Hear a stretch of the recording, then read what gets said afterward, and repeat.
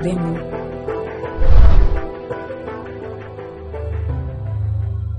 Catherine naceu no ano 1918 e dende pequena demostrou un gran talento para as matemáticas, pero a súa vida estivo chea de obstáculos. Seis, sete, primo... Adiante, por favor. Pódese. Pódese, por favor. Ola, bo día. Bo día. Mire, somos a nai e o pai de Catherine. O director do centro. Encantado.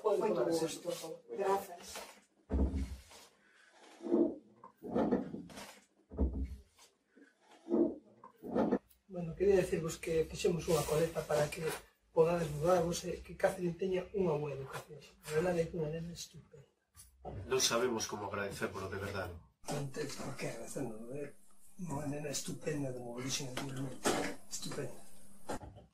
Moitísimas grazas. Faremos todo o posible porque sacar de different.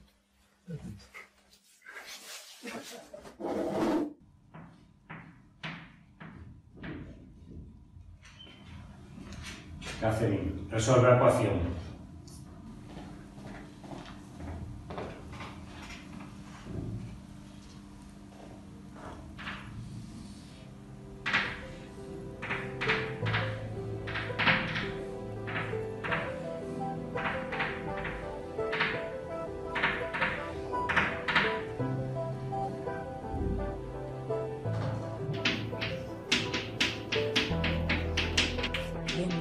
Catherine ingresou na universidade aos 15 anos e graduouse aos 18.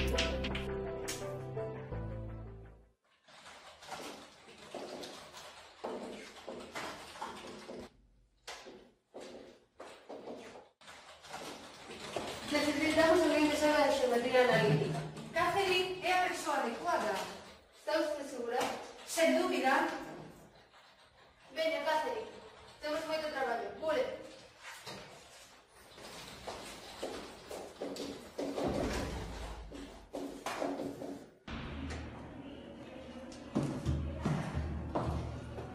Recorda as normas, saia por debaixo dos eollos, poucas xoias, se acaso un colar de pedras. Ah, e non interrompas e non te dirixas ao xefe mentras fala. De acordo. Deberíamos dar grazas por todo isto. De feito, estamos cumplindo o soño de moitas mulleres.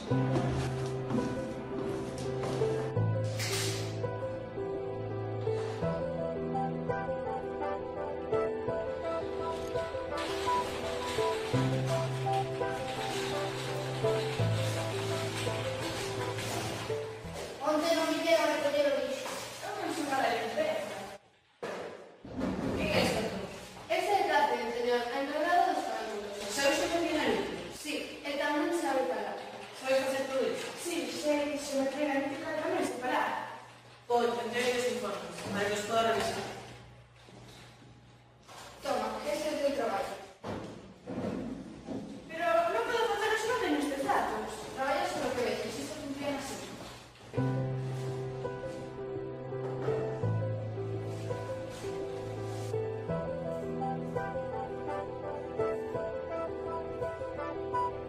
Catherine percorría un kilómetro varias veces ao día para ir ao baño.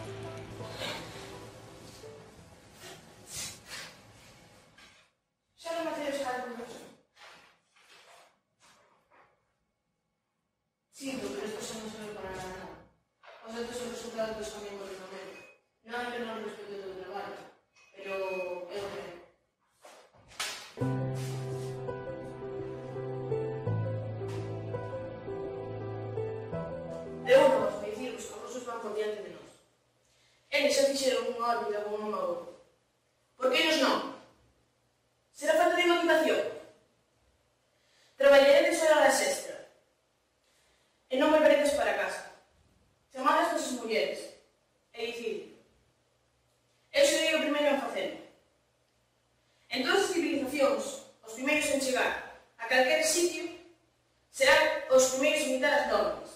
Así que tendremos que ser nós.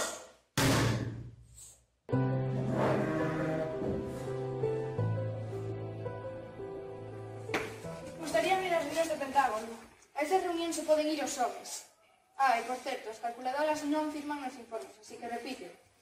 Que pasa? Gostaríame ir a reunións do Pentágono. Necesito os datos o máis pronto posible para realizar un traballo eficaz. Eu xa lle dixen que se poden ir os homens. Pero son o xefe, son eu o que pon as normas. Así que, Catherine, ti podes asistir á reunión. Moitas gracias, señor. Cal é a solución? Necesitamos unha resposta para todos.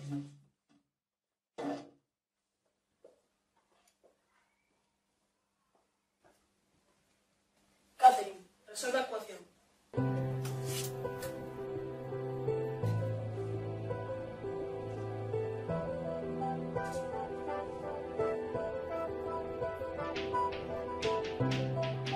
Catherine asombrou a todos na reunión do Pentágono pola súa velocidade para resolver as ecuacións e a súa capacidade de memoria. Cal é a marxe do error? A marxe do error é 32 metros cadrados.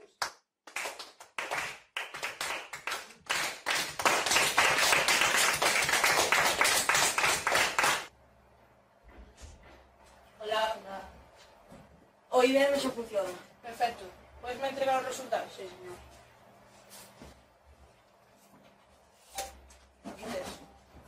basura. Catherine, entra, por favor.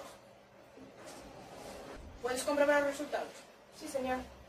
Préstale un bolígrafo para que pueda comprobar.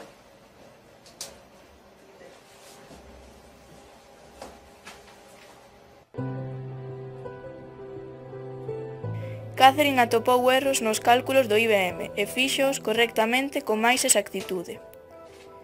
Este é o resultado. Gracias.